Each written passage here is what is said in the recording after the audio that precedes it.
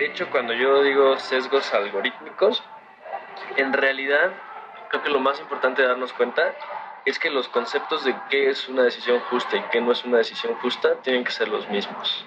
Eh, entonces, cuando decimos sesgos algorítmicos o sesgos, sesgos cognitivos, lo que tú quieras, eh, son sesgos y tenemos que definir y formalizar a lo que nos referimos con, cuando, con decisiones que son justas, equitativas o no justas y no equitativas. Entonces, esas definiciones son independientes de si es una, una máquina, un algoritmo o es un juez el que está tomando las decisiones. Lo que ya empieza a ser diferente es, bueno, cómo corregimos esos sesgos, cómo mejoramos esa toma de decisión hacia un cierto ideal de toma de decisión, pues, justa, ¿no? Eh, y ahí sí, pues ya cambia mucho lo que haces con un juez para hacerlo justo, lo que haces con un algoritmo para hacerlo justo. Eh, entonces, me gusta mucho hacer esa distinción donde, a ver, el concepto de lo que es una toma de decisión justa tiene que ser el mismo independientemente, porque al, sujeto a mí me vale, ¿no? Si yo soy el, si yo soy la persona que estoy frente al juez, me vale si, si es una persona, una máquina, lo que me importa es la calidad de la decisión que me aplican, ¿no? Ahora, lo que sí ya se mete en todos los temas como técnicos y, y, y demás, que a mí, que es en lo que trabajamos nosotros, es del lado de, de las máquinas tomando decisiones, cómo hacemos para corregir estos sesgos. Y de hecho algo muy interesante es, ¿será que hasta hay más oportunidad de corregir los sesgos en las máquinas que en las personas?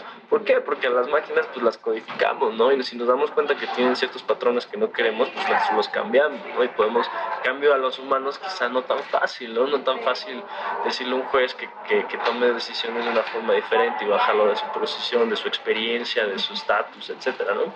Entonces es muy interesante el campo porque yo creo que hay tanto, tanto peligro como ventajas, como oportunidades y realmente como que hay que hay que ver debajo de los nombres de las etiquetas de es que es una máquina, por ejemplo, creo que está bien tener un, un, un, escepticismo, pero también creo que es, también es, es, sano tener una dosis de optimismo, porque hay oportunidad ahí.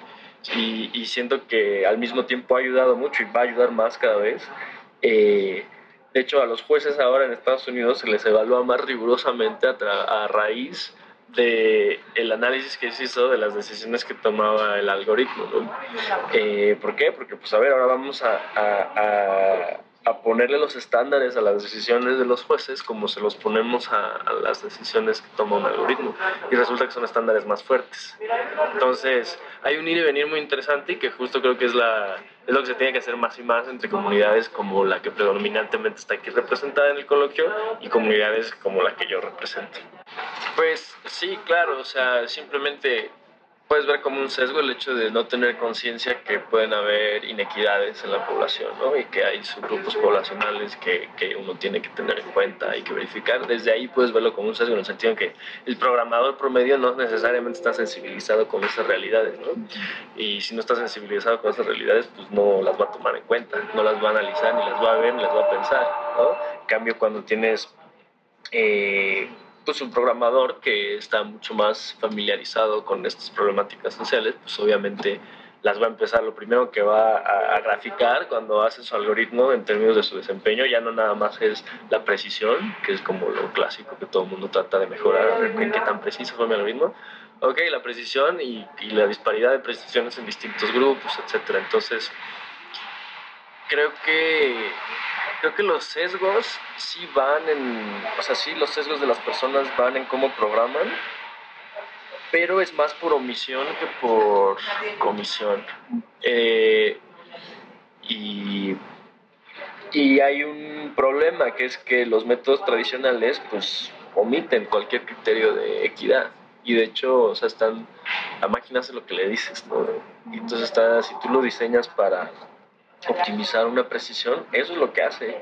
Y de hecho, o sea, es, es, la lógica es muy clara porque desaventaja a los, a los urbanos versus los rurales en la presentación que di, porque es más fácil predecir la pobreza en los rurales porque hay más porcentaje de pobreza, hay más prevalencia de pobreza. Entonces, si te digo, a ver, agárrame a, a tres pobres y, y, te pongo en una zona rural o te pongo en una zona urbana, va a ser más difícil que agarres a tres pobres en una zona urbana porque hay menos.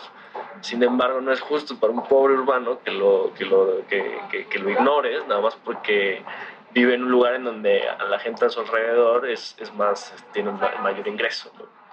Entonces, pues la respuesta es que sí importa mucho la gente que desarrolla la tecnología, eh, pero creo que los sesgos no son tan similares a los sesgos que estamos acostumbrados a pensar, son más por omisión y, y porque la tecnología pues en sí no está pues hoy en día no está sensibilizada a estos temas, no está, empieza cada vez más, ¿no? Justo la investigación que nosotros hacemos hacer eso, pero la default no es así. Entonces hace falta mucho ahí como también campaña, interacción entre grupos como los como ustedes y los nuestros.